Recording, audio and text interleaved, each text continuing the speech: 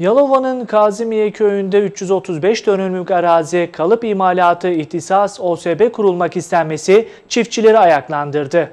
Ulusal Kalıp Üreticileri Birliği tarafından Yalova'nın Kazimiye Köyü bölgesindeki 335 dönüm arazi üzerine kurulacak olan Yalova Kalıp İmalatı İhtisas OSB için imar değişikliği yapılarak tarım alanı sanayi alanına çevrildi.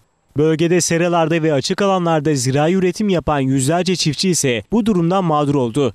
Kazimiye Tarımsal Kalkınma Kooperatifi Başkanı Yaşar Demir, tarım yapılan bu alana sanayi kurulmasını istemiyoruz, dedi. Mahsulü üreten bir bölgede sanayi kurulmasını biz istemiyoruz. Sanayi Bakanlığı buraya izin vermişse bizim de Tarım Bakanımız var. Bize sahip çıkmasını istiyoruz. Biz mağdur oluyoruz bu arada. Çiftçiler istemiyor böyle bir sanayiyi. Burada bu- böyle bir sanayi kurulduğu zaman burada biz ekmek yiyemeyiz. Burada kanserojen üretecek bu fabrikalar.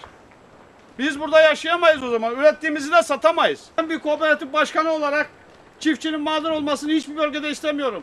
Türkiye'nin geleceği çiftçiliktedir. Bu alanda 400-500 kişi bayan işçi, erkek ekmek yiyor sezonluk. Çiftçi Şemsettin Bektaş ve Seçkin Yıldırımsa OSB'ler her yere kurulabilir dedi. E tabii şimdi şu anda e, tarım alanları gerçekten çok azalmaya başladı.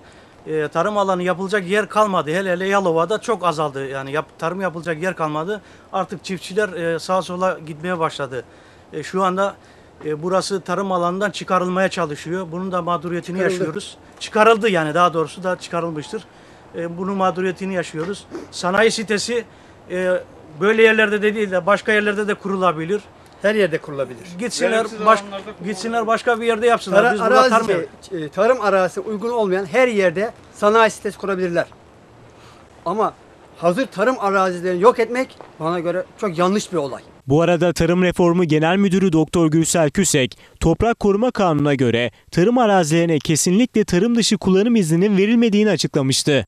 Türkiye'de artık tarım arazilerine kesinlikle inşaat izni verilmeyecek. Tarım arazisine inşaat izni vermek, bir ormanı ateşe vermek gibidir. Maalesef bunu halen anlamayan hainler var. Bu yüzden Türkiye'de 78 milyon hektar tarım arazisinin heba olmaması için yeni çıkarılan toprak kanunu çok önemlidir. Türkiye'de tarımın verimli olması için toprak toplulaştırma çalışmalarını hızla devam ettiriyoruz açıklamasını yapmıştı.